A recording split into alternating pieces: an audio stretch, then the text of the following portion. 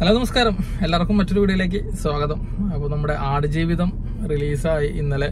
അപ്പോൾ ഇന്നാണ് സിനിമ കാണാൻ പറ്റിയത്. അപ്പോൾ നമുക്ക് ആടുജീവിതത്തിന്റെ റിവ്യൂ എന്നല്ല ജസ്റ്റ് സിനിമ കണ്ടതിനെ പറ്റിയുള്ള ഒരു അഭിപ്രായം എന്നേ ഉള്ളൂ. നമ്മൾ ആടുജീവിതത്തിനെ പറ്റി പ്രത്യേകിച്ച് ഒരു മലയാളിക്ക് ഒരു എന്താ പറയുക പരിചയപ്പെടുത്തേണ്ട ആവശ്യമൊന്നുമില്ല. കാരണം മലയാളത്തിൽ ഏറ്റവും കൂടുതൽ വിറ്റഴിഞ്ഞ പുസ്തകങ്ങളിലൊന്ന് ഇരുന്നൂറ്റി അമ്പതിൽ പരം പതിപ്പുകൾ ഇറങ്ങിയിട്ടുള്ള ഒരു നോവലാണ് ബെന്യാമിന്റെ ആടുജീവിതം എന്ന് പറഞ്ഞാൽ. ആ നോവലിനെ ആസ്പദമാക്കിയിട്ടുള്ള ഒരു സിനിമ തന്നെയാണ് ഈ ആടുജീവിതം. സോ അതിനെപ്പറ്റി പ്രത്യേകിച്ച് പറയേണ്ടത് കാര്യമില്ല. കാരണം എല്ലാവർക്കും അറിയുന്ന ഒരു കാര്യമാണ്. രണ്ടായിരത്തി എട്ടിൽ ആണ് ഈ നോവൽ ഇറങ്ങിയത് അപ്പോൾ അതിനുശേഷമാണ് ഇത്തരത്തിലുള്ള സിനിമയെ പറ്റി ആലോചിക്കുന്നത്. ഏകദേശം ഇപ്പോൾ നോവൽ ഇറങ്ങിയിട്ട് പതിനാറ് കൊല്ലായി. രണ്ടായിരത്തി എട്ടിൽ ഇറങ്ങി പതിനാറ് ഇപ്പോൾ ഒരു പന്ത്രണ്ട് കൊല്ലത്തോളമായിട്ട് ഈ സിനിമയുടെ പിന്നാലെ തന്നെയാണ് ഈ ഒരു ബ്ലെസ്സിയും ടീമും എന്നുള്ളതൊക്കെ പല അതിലൂടെ നമ്മൾ അറിഞ്ഞുള്ള കാര്യമാണ്. അപ്പോൾ ആ സിനിമയുടെ എക്സ്പീരിയൻസ് എന്തായിരിക്കും നോവൽ വായിച്ച വായിക്കാത്ത ആളുകൾ വളരെ ചുരുക്കമായിരിക്കും എന്നാണ് എനിക്ക് തോന്നുന്നത്. അപ്പോൾ അതുകൊണ്ട് തന്നെ കഥയെ പറ്റിയിട്ടോ എന്താണ് സംഭവം എന്നതിനെ പറ്റിയിട്ടോ ഒന്നും പ്രത്യേകിച്ച് വിശദീകരിക്കേണ്ട യാതൊരു കാര്യവുമില്ല. സിനിമ എന്ന് പറഞ്ഞാൽ പക്ക ഒരു ഇന്റർനാഷണൽ ലെവൽ ഐറ്റം എന്നൊക്കെ വേണമെങ്കിൽ പറയാം. ഭാഷയ്ക്ക് അതീതമായിട്ട് നമുക്ക് എവിടെ കൊണ്ടുപോയും ഈ സിനിമ കാണിക്കാൻ പറ്റുന്ന ഒരു തരത്തിലാണ് ഇതിന്റെ ഒരു മേക്കിംഗ് അതിൽ ഭാഷ എന്നൊരു വിഷയമല്ല. സത്യം പറഞ്ഞപ്പോൾ ഇംഗ്ലീഷിലായാലും ഏത് ഭാഷയിലാണെങ്കിലും ഈ സിനിമ നമുക്ക് ആളുകൾക്ക് കാണാൻ പറ്റുന്ന രീതിയിലുള്ള അത്രയും ഒരു ഒരു ക്ലാസിക് ലെവലിൽ ഒരു ഇന്റർനാഷണൽ ലെവലിലാണ് സിനിമ ഒരുക്കിയിട്ടുള്ളത്. സോ അതുകൊണ്ട് നമുക്ക് മലയാളത്തിൽ നിന്ന് പറയുകയാണെങ്കിൽ മലയാളത്തിന്റെ ഒരു സിനിമ എന്ന് പറയുമ്പോൾ നമുക്ക് ധൈര്യത്തോടെ കാണിച്ചു കൊടുക്കാവുന്ന അല്ലെങ്കിൽ നമുക്ക് പറയാവുന്ന ഒരു സിനിമയാണ് ആടുജീവിതം എന്നുള്ള അപ്പൊ ഈ സിനിമയ്ക്ക് വേണ്ടിയിട്ട് ബ്ലെസ്സി എന്ന സംവിധായകൻ തന്റെ നീണ്ട പന്ത്രണ്ട് പതിനാറ് വർഷത്തെ കാത്തിരിപ്പാണ് ഒരു ആടുജീവിതം എന്ന സിനിമയ്ക്ക് വേണ്ടി ബ്ലെസ്സി മാറ്റിവെച്ചത്. അതുപോലെ തന്നെ പൃഥ്വിരാജ് ഈ സിനിമയ്ക്ക് വേണ്ടി ചെയ്തിട്ടുള്ള ട്രാൻസ്ഫോർമേഷൻ ഒക്കെ നമ്മൾ പല തരത്തിലും കണ്ടതാണ്. പക്ഷെ അതിനേക്കാൾ ഭീകരമായിട്ടാണ് നമ്മൾ സിനിമയിൽ കാണുമ്പോൾ നമുക്ക് മനസ്സിലാവും കാരണം പൃഥ്വിരാജ് എന്നൊക്കെ പറഞ്ഞു കഴിഞ്ഞാൽ രക്ഷയില്ലാത്ത ഒരു പെർഫോമൻസ് ആണ് സിനിമയിൽ തന്റെ ശരീരം കൊണ്ടും അഭിനയം കൊണ്ടും എല്ലാം കൊണ്ടും ആ ഒരു നജീബ് നജീബായിട്ട് മാറാൻ ചെയ്തിട്ടുള്ള ഒരു ഡെഡിക്കേഷനും ആ ഒരു സംഭവം വേറെ ലെവലാണ് സോ സിനിമ എന്ന് പറഞ്ഞു കഴിഞ്ഞാൽ പക്ക ഒരു പീക്ക് ലെവൽ എക്സ്പീരിയൻസ് ആണ്. സോ അക്കാര്യത്തിൽ യാതൊരു സംശയവുമില്ല. പിന്നെ ഇതിന്റെ എന്താ പറയാ ടെക്നിക്കൽ സൈഡിലേക്ക് വരികയാണെങ്കിൽ ക്യാമറ സൗണ്ട് മ്യൂസിക് എല്ലാം നമുക്കറിയാലോ. ഇപ്പൊ എ റഹ്മാനാണ് റസൂൽ പൂക്കുട്ടിയാണ് സൗണ്ട് ചെയ്തിട്ടുള്ളത്. അതേമാതിരി കെ എസ് സുനിൽ എന്നുള്ള ആളാണ് ഇതിന്റെ ക്യാമറ ചെയ്തിട്ടുള്ളത്.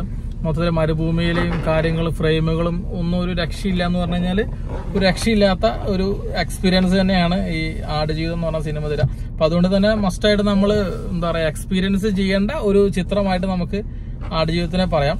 സോ തിയേറ്ററിൽ തന്നെ മസ്റ്റായിട്ട് നമ്മൾ ഈ സിനിമ കാണാൻ വേണ്ടി പരമാവധി ശ്രമിക്കുക എന്നുള്ളതാണ് ഈ അവസരത്തിൽ പറയാനുള്ളത്. സാധാരണ മലയാളത്തിൽ ഇത്തരത്തിലുള്ള എന്താ പറയാ ഗംഭീര സിനിമകൾ ഇറങ്ങുമ്പോൾ സാധാരണ പൊതുവെ നെഗറ്റീവ് റിവ്യൂസ് ആണ് പൊതുവെ വരാറ്. സോ ആടുജീവിതത്തിന് എന്തുകൊണ്ടാണ് അത്തരത്തിലുള്ള റിവ്യൂ വരാത്തത് എന്നുള്ളതിന്റെ പ്രധാന കാരണം ഈ ആടുജീവിതം എന്ന് പറഞ്ഞ നോവൽ മലയാളികൾക്ക് ഇത്ര പരിചിതമായതും അത് മലയാളികൾക്കിടയിൽ അത്ര എന്താ പറയുക ചർച്ചാ വിഷയമായിട്ടുള്ള ഒരു കഥ അത്ര ഹിറ്റ് ആയതുകൊണ്ടുമായിരിക്കാം. അതിനെ ആസ്പദമാക്കിയുള്ള ഒരു സിനിമ എന്ന് പറയുമ്പോൾ കഥയെ പറ്റിയിട്ടൊന്നും ആരെയും അല്ലെങ്കിൽ ആരും നെഗറ്റീവ് പറയാത്തത് ഭയങ്കര ലാഗാണ് അതാണ് ഇതാണ് എന്നൊക്കെ രീതിക്കുള്ള സാധാരണ അത്തരത്തിലുള്ള റിവ്യൂസ് വരും കാരണം ഇത്തരത്തിലുള്ള സിനിമ എന്നൊക്കെ പറയുമ്പോൾ അല്പം ലാഗ് ഉണ്ടായിരിക്കും. അത്തരത്തിലുള്ള ഈ സിനിമകൾ സാറിന് പറഞ്ഞാൽ ഇതൊരു എന്റർടൈൻമെന്റ് മൂവി ഒന്നുമല്ലല്ലോ സാറിന് ഒരാളെ റിയൽ ലൈഫ് സ്റ്റോറിയാണ് അപ്പോൾ അത്തരത്തിൽ വരുമ്പോൾ അതിന്റെതായ കുറെ സംഭവങ്ങളൊക്കെ സിനിമയിലുണ്ടാവും.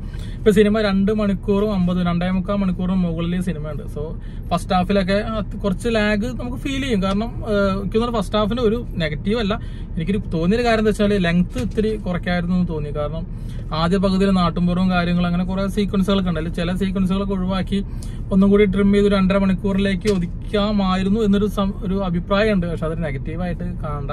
പിന്നെ എന്താ കഥയെ പറ്റി പറയുമ്പോൾ എന്താ വെച്ചാൽ ഇത് ഇത്തരത്തിൽ ഹിറ്റ് ആയിട്ടുള്ള ഒരു നോവൽ ആയതുകൊണ്ട് തന്നെ ആർക്കും കഥയെ പറ്റി പ്രത്യേകിച്ച് നെഗറ്റീവ് ഒന്നും പറയാൻ പറ്റില്ല. പിന്നെ മേക്കിങ്ങിനെ പറ്റി ഒന്നും പറയാനില്ല. കാരണം അത് വേറെ ലെവലിലാണ് സിനിമ നിർമ്മിച്ചിട്ടുള്ളത്. അതിന്റെ മേക്കിങ്ങും പെർഫോമൻസും എല്ലാം. സോ അത്തരത്തിൽ നമുക്കൊന്നും ഇതിൽ പറയാനില്ല. പറയുകയാണെങ്കിൽ നമുക്ക് കഥയെ പറ്റി മാത്രമേ പറയാൻ പറ്റുള്ളൂ. അതായത് അത് ഓൾറെഡി ഇങ്ങനെ ഒരു വിജയം ചിത്രം ഒരു വിജയ നോവൽ ആയതുകൊണ്ട് തന്നെ അതിനെപ്പറ്റി ആൾക്കാർക്ക് നെഗറ്റീവ് ഒന്നും പറയാൻ പറ്റില്ല. ഒരു പക്ഷേ ഈ ആടുജീവിതം എന്ന് പറഞ്ഞ സിനിമ ഒരു നോവലിനെ ആസ്പദമാക്കിയിട്ടല്ല എന്ന് വിചാരിക്കാം അങ്ങനെ ഒരു നോവൽ ഇറങ്ങിയിട്ടില്ല. സാധാരണ ഒരു റിയൽ ലൈഫ് സ്റ്റോറീനെ ബേസ് ചെയ്തിട്ട് ഒരു സിനിമ ഇറക്കി കഴിഞ്ഞാൽ അങ്ങനെയാണ് ഈ സിനിമ വന്നിരുന്നെങ്കിൽ ഒരു പക്ഷേ ഒരുപാട് നെഗറ്റീവ് കേൾക്കാമായിരുന്നു. കാരണം അതങ്ങനെയാണ് സ്റ്റോറി ഇങ്ങനെയാണ് അത് ലാഗ് അടിച്ചു അത് ഇങ്ങനെയാണ് സംഭവമൊക്കെ വാങ്ങിയെന്നൊക്കെ ഒരുപാട് നെഗറ്റീവ് വരും. ഇത് എന്ന് പറഞ്ഞാൽ ഓൾറെഡി ഇങ്ങനെ ഒരു വിജയ നോവലും കാര്യങ്ങളൊക്കെ ആയതുകൊണ്ട് ആൾക്കാർക്ക് പൊതുവെ ഇതിനെപ്പറ്റി നമ്മളിപ്പോൾ എന്ത് നെഗറ്റീവ് പറയാന്നുള്ളൊരു തോന്നൽ സ്വാഭാവികമായിട്ട് വരും.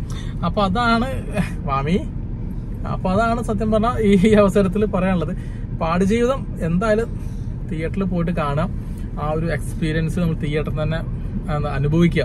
അത്രേ പറയുള്ളൂ എന്തായാലും മലയാള സിനിമയ്ക്ക് നല്ലൊരു കിടിലൻ സിനിമയാണ് ആടുജീവിതം സമ്മാനിച്ചിട്ടുള്ളത് എന്ന് നമുക്ക് പറയാം. പെണ്ണ് കയറി അലമ്പാക്കി.